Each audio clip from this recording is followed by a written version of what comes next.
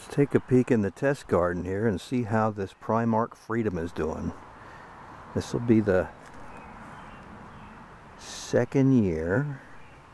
These are growing. This will be our first real harvest. We had a fall harvest last year. There was a lot of berries, but we lost most of them to the frost. So this will be our first summer harvest. There's some nice berries on here. They're starting to get some size to them. And we're getting a lot of new canes this year. Right here you can see I've tipped them and we're getting lateral growth off. These berries that are on here, they're from last year's growth.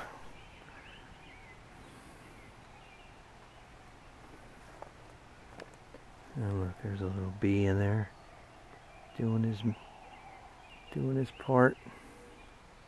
I think he's sleeping. Sometimes they sleep on the plants. Lots of, look at this. I tipped it here, in here.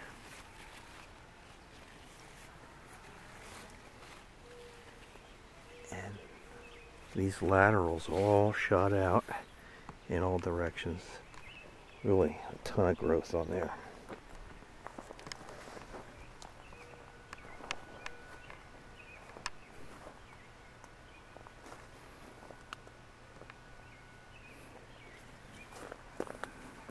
It's another one that I tipped.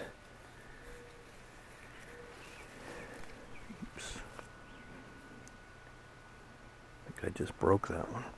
I noticed this Prime-Ark Freedom. It's a little fragile. You really don't want to...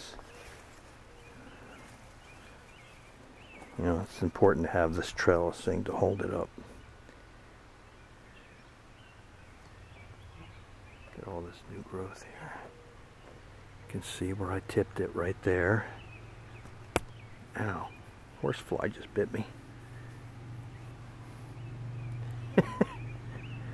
and that's all new growth there. Look at these laterals shooting out. These are all after tipping. Tons of new growth.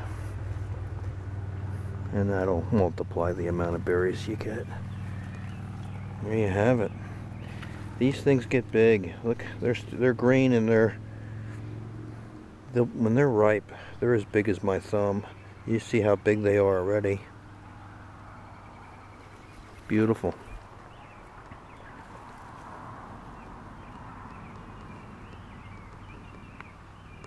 Thanks for watching. Prime-Ark Freedom.